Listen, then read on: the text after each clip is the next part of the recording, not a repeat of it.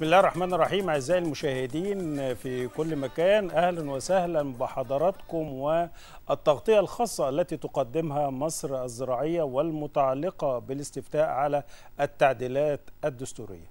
ما في شك نحن نعيش أيام فارقة في تاريخ مصر الاستفتاء بدأ من الأمس واليوم وغدا إن شاء الله على التعديلات الدستورية والحقيقة واضح إن في مشاركة إيجابية من جميع المصريين في جميع المحافظات. لازم نكون عارفين إنه المشاركة في هذا الاستفتاء هو واجب وطني بالدرجة الأولى. وكل دساتير العالم الحقيقة قابلة للتعديل وفعلا بيتم تعديلها كل فترة. ولازم نكون عارفين أيضا إنه الدستور يجب أن يتواكب مع الظروف الراهنة التي تعيشها كل دولة في كل ظرف وفي كل وقت. اذا الدستور يجب أن يتم تعديله حسب الظروف وحسب المرحلة التي تمر بها البلاد. الدستور منتج بشري قابل للتعديل لازم نكون عارفين هذا الكلام كويس جدا. طبعا التعديلات واضح إن هي يعني مهمة جدا من أجل المصلحة العامة من أجل النهوض بهذا البلد من أجل التنمية الشاملة واستمرارها من أجل عمليات الاستقرار من أجل الأمن والأمان اللي بتعيشه البلاد. الحقيقة مشاركة المصريين كانت في الخارج كانت رائعة. واضح أن كان في إقبال من كل الدول في من المصريين اللي عايشين في كل أنحاء العالم. والمشاركة بالأمس كانت أيضا ممتازة في الداخل. النهارده وبكره أيضا ينتهي الاستفتاء على التعديلات الدستورية. نهيب بجميع المصريين النزول والمشاركة في الاستفتاء. قل رايك بكل حرية زي ما أنت عايز زي ما أنت شايف. ولكن شوف الوضع صح. ولكن قيم الأمور صح. شوف بلدك دلوقتي فين وكانت فين. شوف البلاد اللي حواليك إيه وأنت دلوقتي إيه. قيم صح أرجوك قيم صح وبعدين خد قرارك ولازم تكون عارف ان صوتك أمانة هتسأل عنه يوم القيامة. لكن المهم إن كلنا ننزل كلنا ننزل عشان نبين للعالم إن الشعب المصري شعب عنده وعي عنده إيجابية بيشارك في العمليات في الاستفتاء على التعديلات الدستورية. قل رأيك كما تريد المهم إن إحنا ننزل وقيم الأمور وشوف البلد دلوقتي إيه وكانت إيه وشوف المامول بإذن الله المستقبل. بالنسبة لهذا الوطن هيكون إيه؟ وقول رأيك زي ما أنت عايز بكل حرية. لكن المهم فعلا إن إحنا ننزل لأنه ما فيش شك إنه البلاد ما زالت تمر يعني بظروف صعبة. نعم عندنا استقرار عندنا أمن عندنا أمان لكن خلينا نبص للظروف المحيطة. ولازم نكون عارفين إن الدول المحيطة بينا كل الظروف اللي بتمر بيها أكيد هتنعكس علينا. فلازم تكون الجبهة الداخلية متماسكة الجبهة الداخلية قوية. الجبهة الداخلية تكون ملتفة حول القيادة السياسية. لأن دايما الرئيس الحقيقة الرئيس السيسي بيقول طول ما الجبهة الداخلية قوية طول ما إحنا إيد واحدة أكيد هننهض بهذا البلد. المهم إن إحنا فعلا كلنا نكون إيد واحدة. اللي يبرهن على ده واللي يدل على ده هو نزولنا في أيام الاستفتاء. نزولنا بكثافة أمام اللجان. وده واضح وإن شاء الله تنتهي عملية الاستفتاء على خير. طبعا بالمناسبة دي لازم أوجه كل التحية لقوات الشرطة وقوات الجيش اللي هم بيأمنوا الحقيقة لجان الاستفتاء على مستوى الجمهورية وأيضا الخدمات العامة الإسعاف وغيره. الحقيقة متواجدين بكثافة في كل اللجان.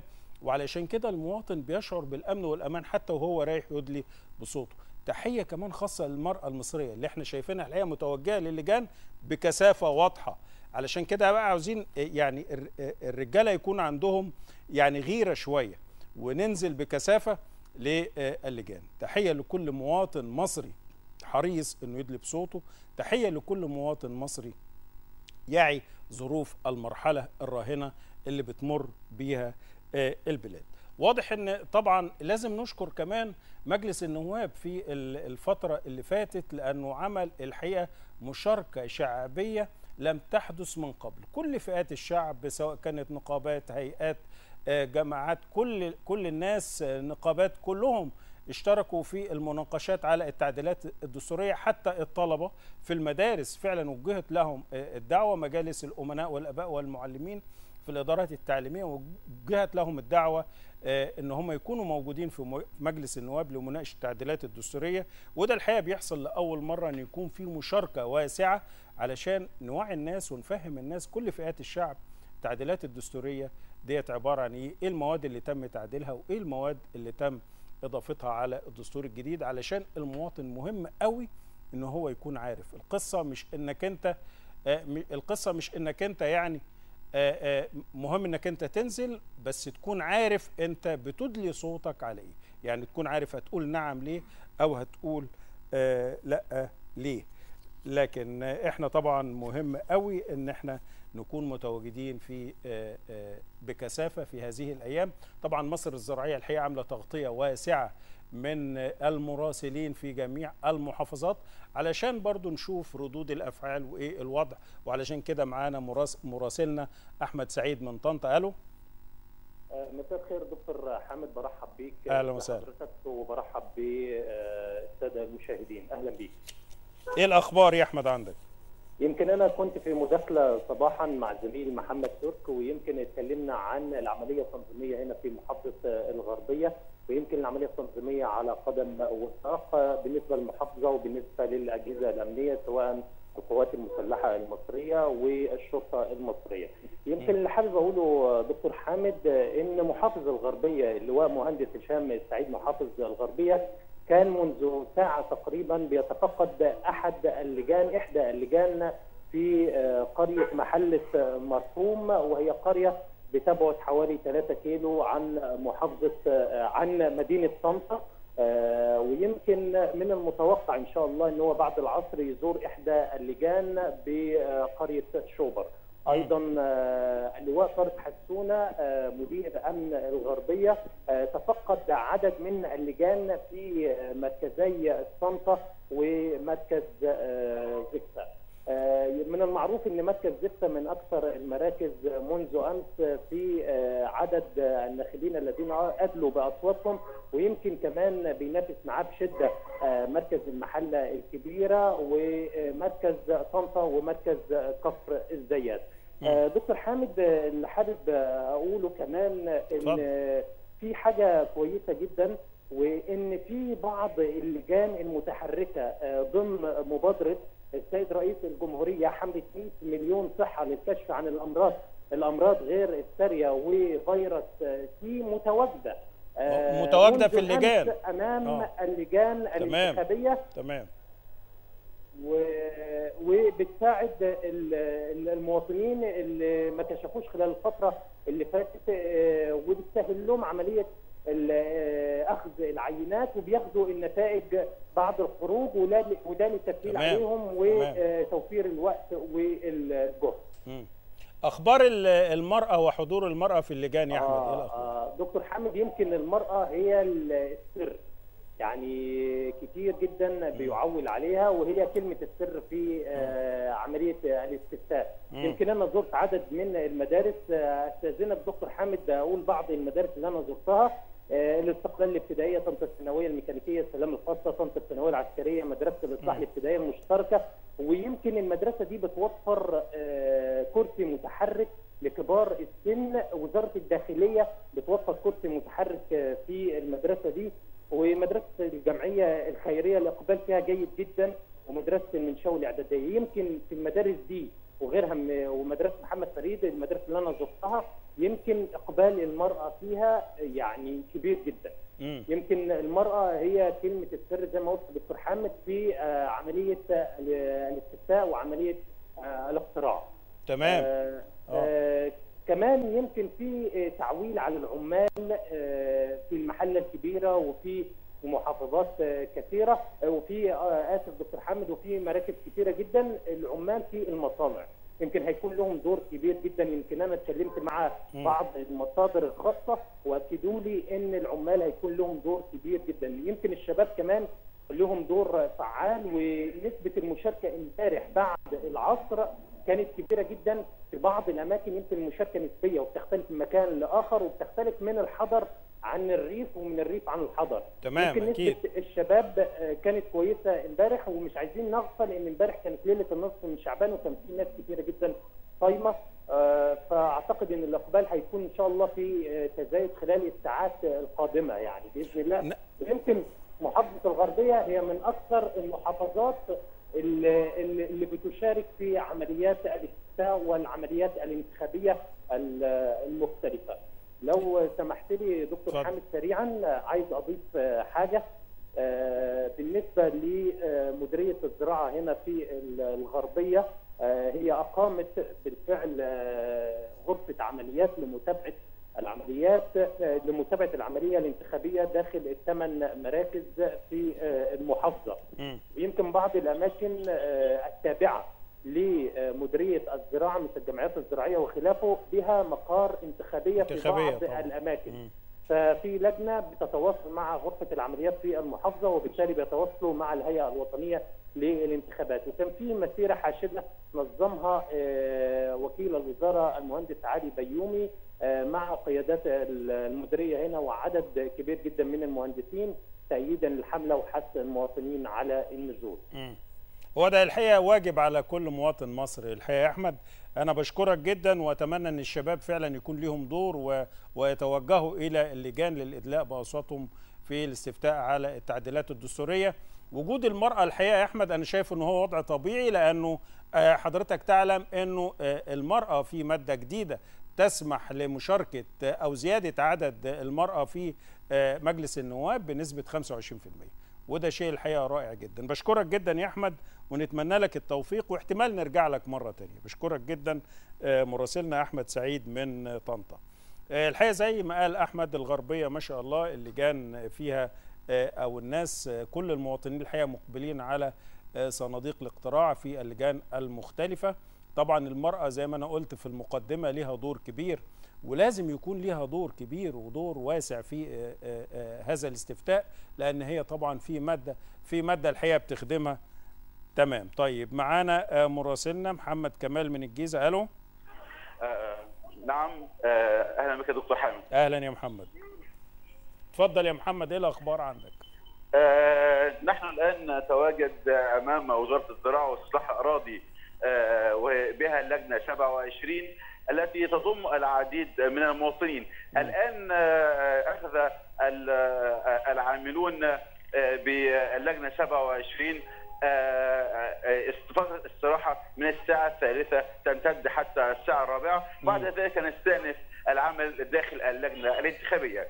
لاحظنا منذ صباح اليوم كان هناك الاجبار من العشرات من المواطنين في الساعات الأولى في اليوم الثاني لإدلاء أو الاستفتاء على الدستور المصري لعام 2019 ولكن تزايدت الأعداد مع مرور الوقت حتى أصبح هناك المئات يتوافدون على هذه اللجنة لجنة 27 بوزارة الزراعة واستصلاح الأراضي. م.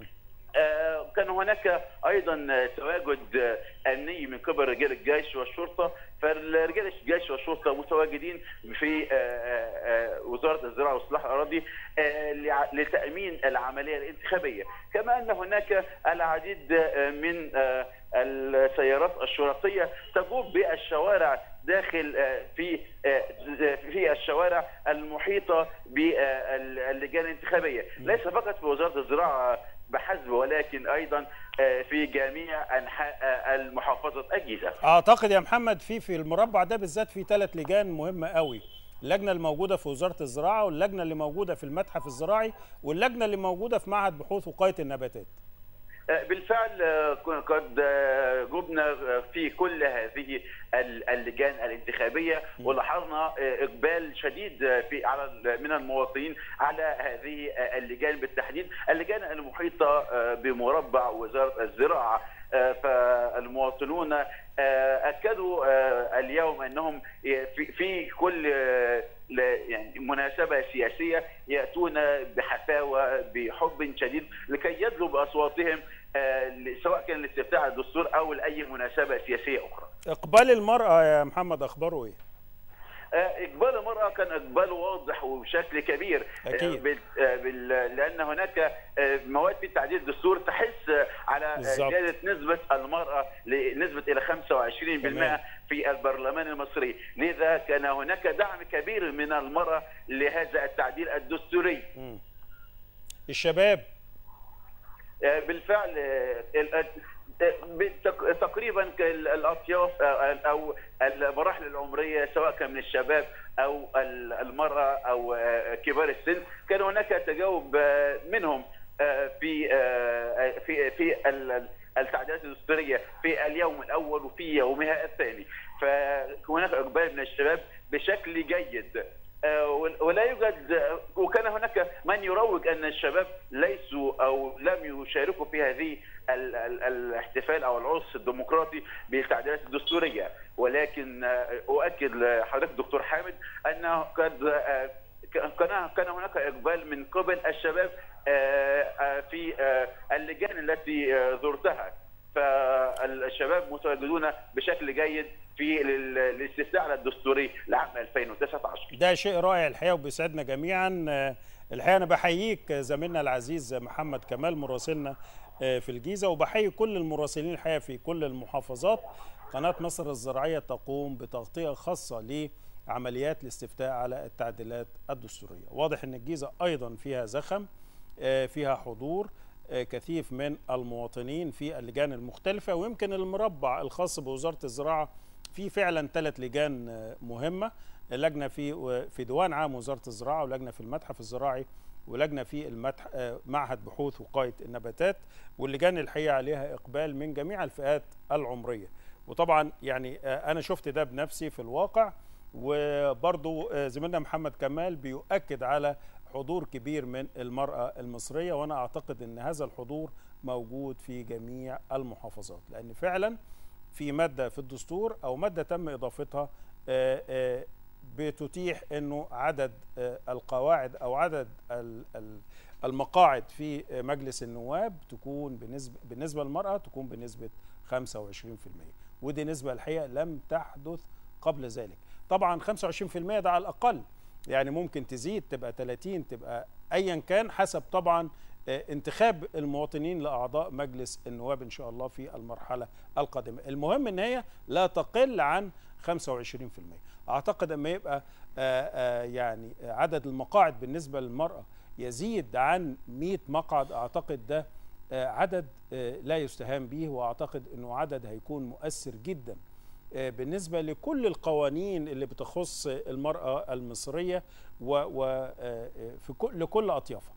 ده مهم قوي الحقيقة. آه، إحنا ما زلنا معاكم ومستمرين للتواصل مع مراسلينا في آه، جميع أنحاء آه، الجمهورية في كل المحافظات المختلفة. وأنا ما زلت بأهيب بكل المواطنين اللي ما نزلش يدلي بصوته يحاول ينزل النهارده لسه في وقت وعندنا كمان بكرة إن شاء الله آخر يوم في عمليات الاستفتاء ينزل يدلي بصوته في اللجنة. لأنه صوتك الحقيقة مهم قوي لأن ده واجب وطني.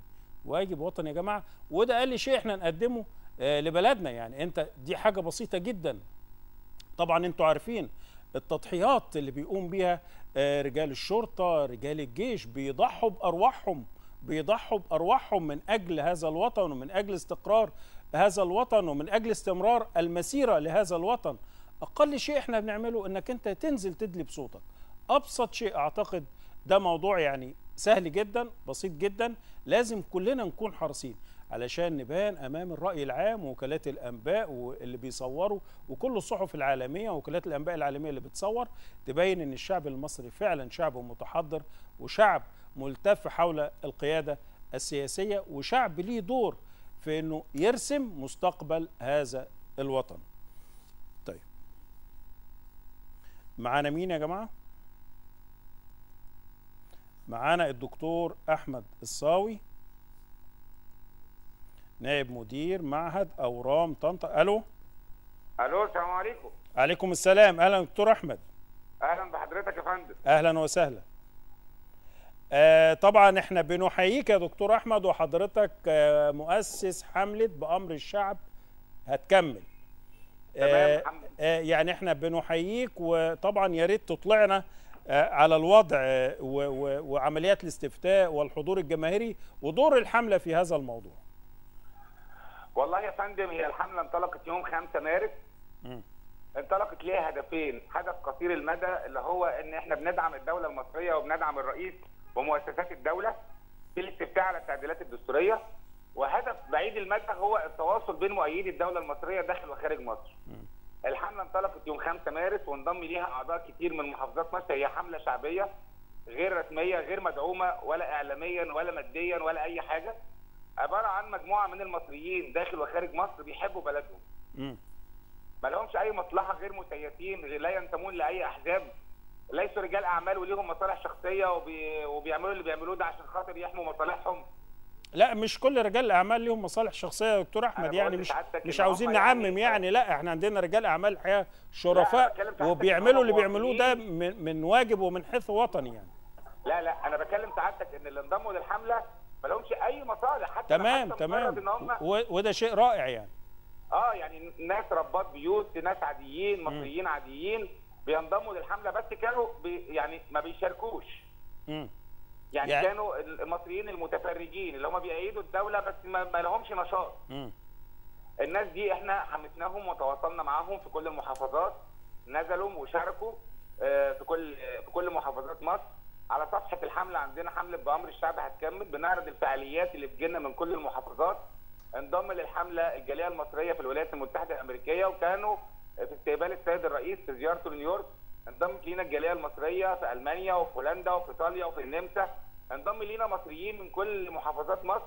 دلوقتي أعضاء الحملة كل حتة في القاهرة في اسكندرية في المنيا في بني سويف. بينزلوا بيجمعوا أصدقائهم بيحشدوا أصدقائهم آه، حبا في مصر وتأييدا للدولة المصرية.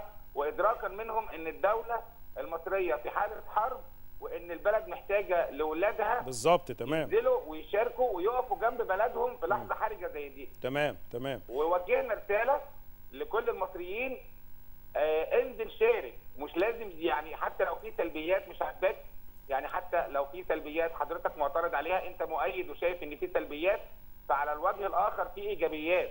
وبنحمد ربنا إن إحنا عندنا دولة فيها سلبيات وفيها إيجابيات وده موجود في كل دول العالم. مم.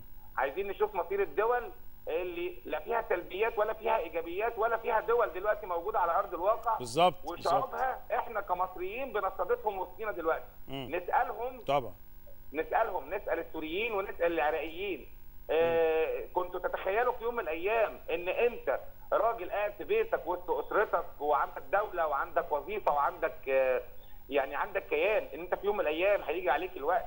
تبقى أجير عند مواطن في دولة أخرى لا بس هم مش أجراء عندنا يا دكتور أحمد هم. بيعاملوا معاملة. المصريين الحقيقة مفيش فرق بين. المصري والعراقي والسوري على الإطلاق أنا مش بتكلم إن هم أجراء آه. أنا بتكلم يا فندم إن هم أصبحوا موظفين في شركات أو. بيشتغلوا طبعا. آه يعني مديره بقى مواطن من جنسية ثانية يعني بالظبط، هو يعني بالظبط. ضيف على دولة ثانية.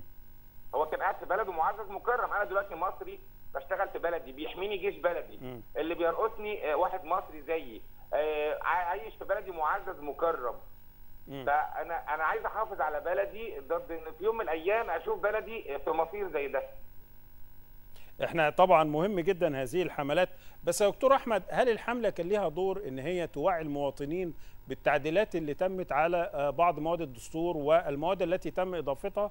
ده مهم قوي علشان المواطن يكون نازل وعارف آه، آه، هيصوت على إيه أنا أقول لحضرتك على حاجة يا فندم. الحملة قدمت حاجات لمصر ما قدمتهاش أي حملة تانية على مدار تاريخ العمل السياسي في مصر. وده لأن الناس اللي انضموا للحملة ناس على وعي آه، يعني يعني مش وعي سياسي وعي ثقافي عالي جدا. أول حاجة اهداف الحملة نفسها هي زرع الولاء والانتماء عند أطفالنا مش بس عند الكبار. بالظبط ده مهم. كنا. بننزل محتوى يزرع الولاء والانتماء عند أطفالنا بالصوت والصورة فيديوهات. لأطفال بتأيد الدولة المصرية تمام. بتأيد الجيش المصري علشان في أطفال تانيين يتفرجوا عليهم ويشوفوا إنه في أطفال بيحبوا مصر وإحنا لازم نحب مصر وليه نحب مصر؟ الحملة لأول مرة قدمت رسالة لقادة وشعوب العالم بكل اللغات. الرسالة ناطقة بالفرنسية والإنجليزية والروسية والهولندية والألمانية بتوجه رسالة إن الشعب المصري واقف خلف جيشه ورئيسه ومؤسسات دولته ضد بعض المصريين المقيمين في الخارج اللي هم مأجورين من دول بترعى الإرهاب وبتهدد الأمن العالمي. ده مهم الرسالة دي باللغات كلها لشعوب الدول دي. وديناها للجاليات المصرية كل جالية تنشرها للشعوب اللي في الدو- في الدولة دي. دي حاجات ما قدمتهاش قبل كده أي حملة للدولة المصرية. التعديلات الدستورية صوت وصورة شرحناها للناس مادة مادة. آه ده مهم قوي يا دكتور. أحمد هو ده اللي أنا أقصده. شرحناها مادة مادة ومش شرحناها بقى اللي هو كلام مكتوب أو طريقة بوست نازل على الفيسبوك لا. شرحناها من المواطنين نفسهم اللي هو. مواطنين من الشارع بي- بيتسألوا إيه رأيك في المادة اللي تخص المرأة؟ إيه رأيك في الماده اللي تخص المجلس العسكري؟ إيه رأيك في الماده اللي بتخص الرئيس؟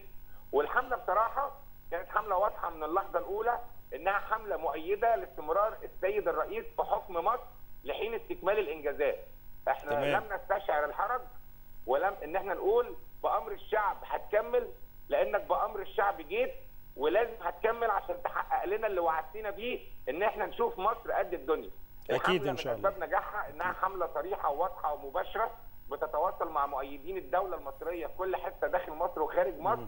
وده عجب جدا الناس اللي هي بتأيد الدولة المصرية وبتحب البلد من قلبها ان هم مش شايفين أي نوع من استشعار الحرج. إحنا بنأيد الرئيس المصري مش بشكل شخصي إحنا بنأيد الرئيس المصري مش حبا في شخصه ولكن حبا في إخلاصه البلد بالظبط. حبا بالظبط. فيما يصنعه البلد. وده كان ردنا على النائب اللي في مجلس النواب اللي قام وأعلن إن هو لا يحب الرئيس ولا يدعم الرئيس. إحنا ردنا عليه إن لا يليق بيك كعضو مجلس نواب بتمثل الشعب المصري إنك تعبر عن موقفك بناء على عواطفك الشخصية. الشعوب بتحكم على الرؤساء بما يصنعه الرؤساء. المصلحة العامة طبعا طبعا. بما يصنعه الرؤساء. أحكم عليه بما يصنعه. أنا بحكم على أي مدير في أي موقع تنفيذي من خلال إنجازاته. بالظبط. وإنجازاته دي بحكم عليها. استلم شغله كان وضع ال- المكان اللي هو مسؤول عنه شكله إيه والنهاردة شكله إيه وبناء عليه بقيمه. إذا كان في تحسن ولا ما فيش بالظبط بالظبط. لكن حضرتك ما يعني مش مسموح ليك أصلا كمواطن إنك تتكلم باللغة دي تقول بحبه أو ما بحبوش. لا ما بال حضرتك العواطف هنا يا دكتور أحمد ملهاش مكان لكن الإنجازات على أرض الواقع هي اللي ليها مكان. آه، الأمن والأمان اللي إحنا بنعيشه هو اللي ليه مكان. الاستقرار اللي بتعيشه مصر الحقيقة هو اللي ليه مكان. وده كله آه، لازم يترجم خلال اليومين دول أو الثلاث أيام امبارح والنهاردة وبكرة. آه، الوضع فعلا في إنجازات ملموسة إحنا شفناها في استقرار وأمن وأمان إحنا عايشينه في تنمية مستمرة ما حصلتش في مصر الحقيقة منذ سنوات عديدة يعني.